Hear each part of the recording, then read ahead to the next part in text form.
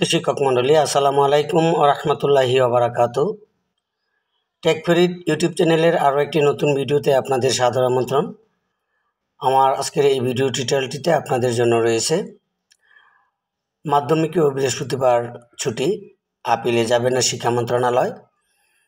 তো এ বিষয়ে চলুন আমরা এখন বিস্তারিত জানব। সারা দেশে দোসরা মে পর্যন্ত প্রাথমিক ও মাধ্যমিকের সব শিক্ষা প্রতিষ্ঠানে ছুটি সংক্রান্ত হাইকোর্টের আদেশের বিরুদ্ধে আপিল না করার সিদ্ধান্ত নিয়েছে শিক্ষা মন্ত্রণালয়। শিক্ষামন্ত্রী মহিবুল হাসান চৌধুরী আজ সকালে দৈনিক আমাদের বার্তাকে তথ্য জানিয়েছেন। এর ফলে প্রাথমিকের মতোই দোসরা মে পর্যন্ত মাধ্যমিকের সব শিক্ষা প্রতিষ্ঠান বন্ধ থাকবে।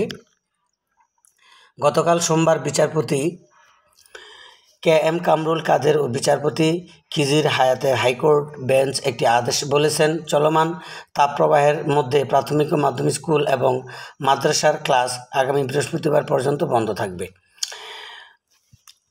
ওই আদেশের পর শিক্ষামন্ত্রী মহিবুল হাসান চৌধুরী বলেছিলেন, শিক্ষা প্রতিষ্ঠান কখন বন্ধ হবে, কীভাবে পরিচালিত হবে, সংবিধান অনুসারে সেটা শিক্ষা মন্ত্রণালয়ের এখতিয়ার। সংবিধানের রুলস অব বিজনেস শিক্ষা মন্ত্রণালয়কে এই সেই এখতিয়ার দেওয়া হয়েছে। আমাদের উচ্চ আদালতের সুমেটু কিছু বিষয়ে নির্দেশনা বা আদেশ দেওয়ার এখতিয়ার আছে, সেটাও সংবিধান স্বীকৃত কিন্তু রাষ্ট্রের যে প্রতিষ্ঠানের যে এখতিয়ার, সেখানের মধ্যে থাকাটাই সবার জন্য সমীচীন। ঢাকা বিশ্ববিদ্যালয়ের সিনেট ভবনে আয়োজিত এক অনুষ্ঠান শেষে সাংবাদিকদের প্রশ্নের উত্তরে শিক্ষামন্ত্রী একথা বলেন। তিনি আরও বলেন যে, এ বিষয়ে ইতিমধ্যে শিক্ষা মন্ত্রণালয়ের সাংবিধানিক এখতিয়ার আছে, সেখানে এ বিষয়ে যদি কোনো সিদ্ধান্ত হয়ে থাকে, তবে অবশ্যই আমরা তার উপরে আদালতে আপিল বিভাগে যাব। একটু আগে শুনেছি, আদালত একটা নির্দেশ দিয়েছে। মহিবুল হাসান চৌধুরী আরও বলেন, যেসব জেলায় তাপমাত্রা অনেক বেশি, সেসব জেলায় শিক্ষা প্রতিষ্ঠান বন্ধ থাকবে। এই বিষয়টি নিয়ে ইতিমধ্যে একটা সিদ্ধান্ত দিয়েছি, কিন্তু সেসব জেলায় তাপমাত্রা কম, যেসব জেলায় তো শিক্ষা প্রতিষ্ঠান বন্ধ করে দেওয়ার কোনো যুক্তি নেই। এটা হচ্ছে আমাদের নির্বাহী অবস্থান।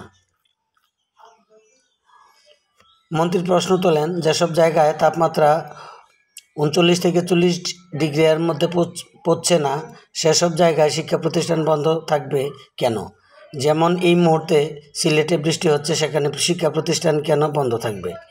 এর আগে দেশে চলমান তাপ প্রবাহের কারণে আবহাওয়া অধিদপ্তরের সঙ্গে পরামর্শক্রমে খুলনা ও রাজশাহী বিভাগের সব জেলায় ঢাকা বিভাগের ঢাকা, টাঙ্গাইল, নারায়ণগঞ্জ, মুন্সীগঞ্জ, গাজীপুর ও মানিকগঞ্জ, রংপুর বিভাগের কুড়িগ্রাম ও দিনাজপুর এবং বরিশাল বিভাগের পটুয়াখালী জেলার সব মাধ্যমিক স্কুল, কলেজ, মাদ্রাসা ও কারিগরি শিক্ষা প্রতিষ্ঠান আজ তিরিশ এপ্রিল বন্ধ থাকবে বলে জানান শিক্ষা মন্ত্রণালয়। কিন্তু ওই হাইকোর্ট বেঞ্চ সব স্কুল, মাদ্রাসা কারিগরি শিক্ষা প্রতিষ্ঠান বন্ধের নির্দেশ দিয়ে জানায়। তবে সেসব স্কুলে এসির ব্যবস্থা আছে, পরীক্ষা চলমান আছে, ও লেভেল এবং এ লেভেল পরীক্ষা আছে সেগুলি কলেজ বিশ্ববিদ্যালয়ের জন্য এই আদেশ প্রযোজ্য হবে না।